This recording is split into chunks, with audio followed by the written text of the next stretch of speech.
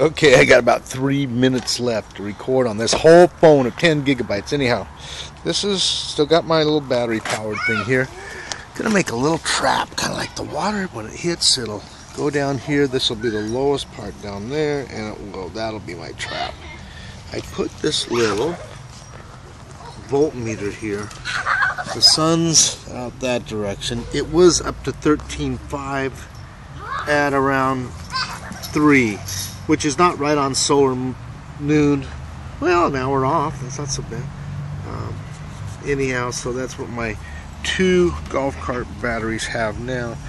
I have that little 200 watt inverter that actually charged this phone so I could send the video out to you guys.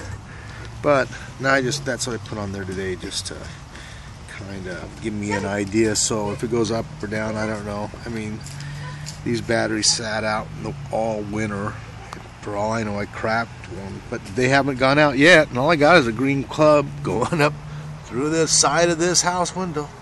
There's the bunker down in there. bunker. There's a hill over there.